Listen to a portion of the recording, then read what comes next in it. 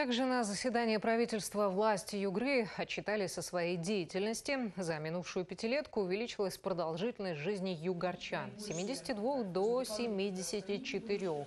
А к 2020-му планируется достигнуть средней продолжительности жизни в 74,5 года. Также в числе достижений округа снижение уровня преступности.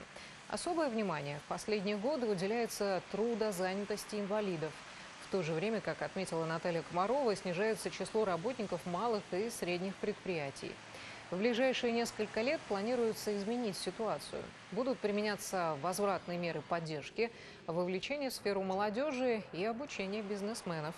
Среди действенных мер профилактики, как отмечают эксперты, это конкурс проектов по правовому просвещению и повышению правовой грамотности.